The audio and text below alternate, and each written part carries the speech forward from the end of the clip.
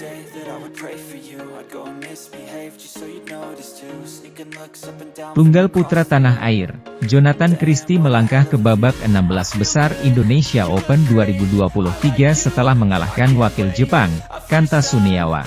Bermain di Istora Senayan, Jakarta, Jonathan menang 2 game 21-17 dan 21-10.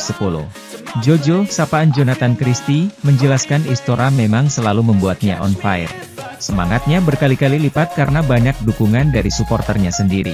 Istora Senayan memang cukup bersahabat untuk Jonathan Christie. Gelar Asian Games 2018 dan Indonesia Masters pernah didapatkannya ketika tampil di Istora.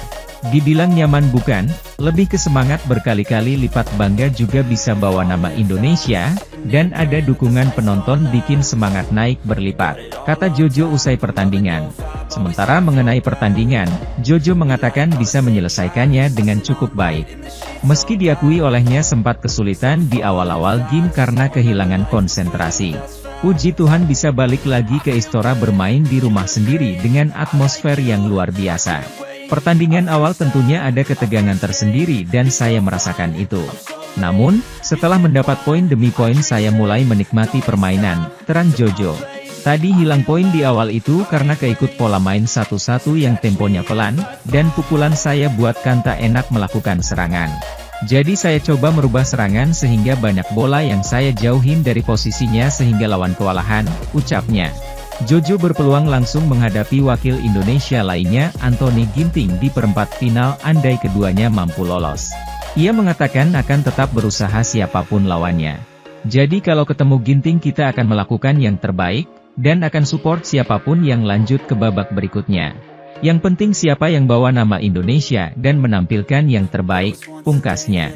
Sementara itu, Ganda campuran tanah air Rinov Rivaldi, Pita Haningtyas Mentari berhasil lolos dari babak pertama Indonesia Open 2023. Ini setelah mengalahkan pasangan Prancis Tom Diquel Delphine de Rue, Rabu, 14 Juni 2023. Bermain di Istora, Senayan, Jakarta, Rinov, Pita menang dua game langsung.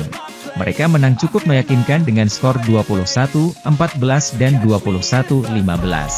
Rinov mengaku kemenangan yang didapatkannya ini buah dari pembelajaran di pertemuan sebelumnya di Malaysia Open 2023. Ketika itu, pasangan Indonesia tersebut kalah dalam dua game 21-18, 21-18.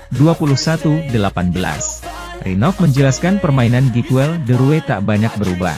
Oleh sebab itu, ia sudah lumayan mempelajari bagaimana mengatasi serangan yang dilakukan. Permainan mereka yang saya lihat sama cuma kita ubah dari pengalaman ketemu di Malaysia. Kami ubah pola permainan, kata Rinov usai pertandingan. Lebih lanjut, Rinov, kita bersyukur bisa melalui babak 32 besar Indonesia Open 2023. Ia berterima kasih atas dukungan supporter.